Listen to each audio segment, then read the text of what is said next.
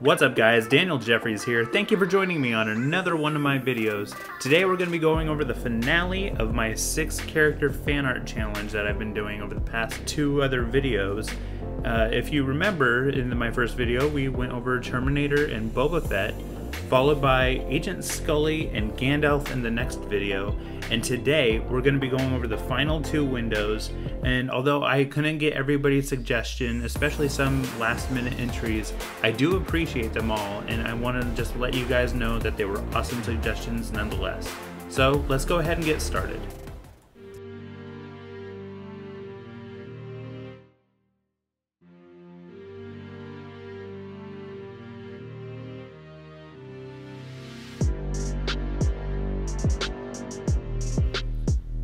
This first suggestion comes from Charles over on my Art of Daniel Jeffries Facebook page.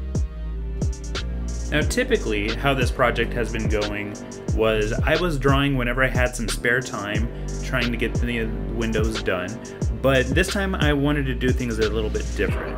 I set aside the right amount of time that I would need in order to, in one session, do one window per session. What this meant was that I did this window entirely at once and the other one the next day. And overall, it ended up being about six and a half hours of work. That six and a half hours, obviously, here is sped up to about three minutes combined between both sessions.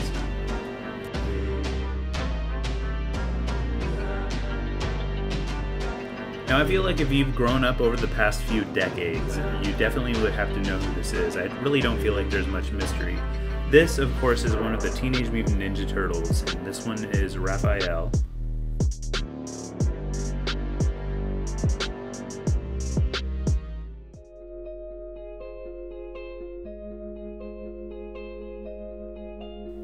This next character suggestion also comes from the Art of Daniel Jeffries Facebook page.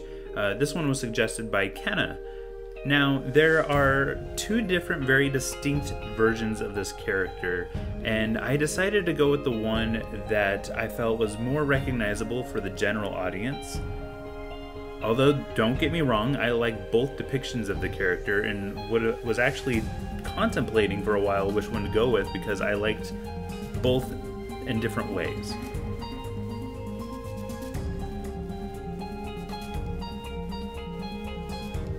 In comparison to the previous window, I took a little bit more time on this one just because I kind of got lost in some of the detail and really wanted to make the background seem like water.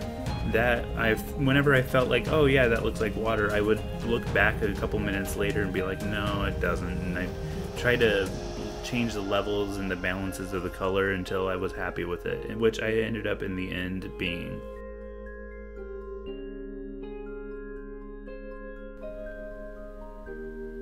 Out of all the suggested characters that I drew, I feel like this one is the most obscure, or at least the most uh, difficult one to immediately know who it was that I was drawing. So, um, if you were able to guess, then congratulations. This is Abe Sapien from the Hellboy franchise. Specifically, the version of Abe that was presented in the Guillermo del Toro Hellboy movies. So that's it for this project. It was a lot of fun to do, especially this last session. I really enjoyed doing some more creature-esque looking characters. Overall, I really enjoyed the project. I liked being able to try to come up with a way to have each character break their window in some way by having something pop out. Thanks again to all of you for your suggestions on what characters to put into this project. I'm sorry to those who didn't get their character in, even though some of them were really hard choices because I wanted to draw those characters. I just felt like maybe it wasn't a character that people might know, perhaps. Anyway, if you did enjoy this video and this series, let me know. Hit that like button, subscribe, you know, the typical YouTube stuff. Also, check out some of my other videos, and I hope you have a wonderful rest of your day. This has been Daniel Jeffries. Have a good one.